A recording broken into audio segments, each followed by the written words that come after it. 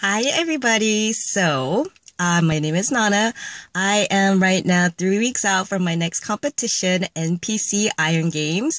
And I just finished my workout. I'm in the car. Um, I've been up since 6.30 in the morning.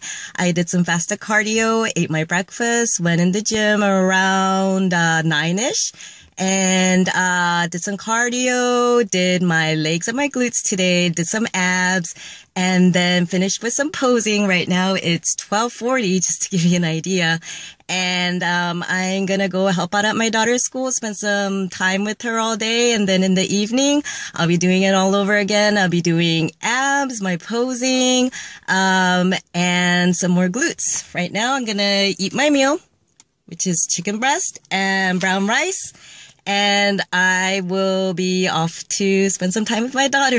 Please wish me luck and don't forget to check out www.pitbullns.com for all your supplement needs. Thank you. Bye.